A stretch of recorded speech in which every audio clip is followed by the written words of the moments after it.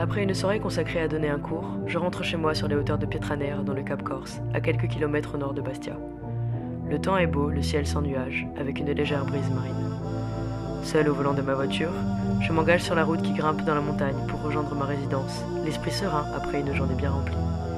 Il doit être environ 23h30 lorsque mon regard est attiré par une boule de feu, surgissant devant moi à une distance que j'évalue à quelques kilomètres sans pouvoir indiquer l'altitude.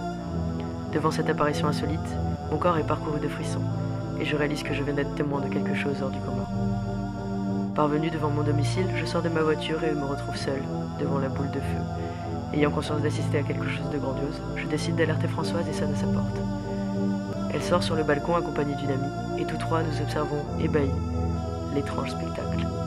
La sphère de feu avance très lentement dans notre direction. Elle semble portée par le vent, et lorsqu'elle parvient au-dessus de nos têtes, elle repart dans la direction d'où elle est apparue. Nous la regardons tous les trois, incrédules, lorsque l'intensité du feu se met à diminuer, pour finir par s'éteindre. À peine la tête disparue, qu'une autre boule de feu surgit. Elle prend une trajectoire ascensionnelle, comme si elle se trouvait projetée du sol vers le ciel.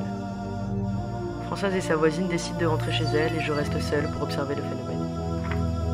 La boule lumineuse passe au-dessus de ma tête et disparaît derrière l'immeuble vers la montagne, direction est-ouest. Je tente de prendre une photo avec mon portable, mais la résolution est trop faible.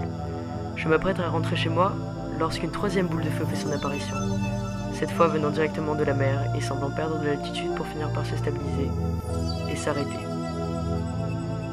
Le lendemain, j'ai décidé de retourner à la même heure sur le lieu de mon observation, armé d'un appareil photo et d'une caméra.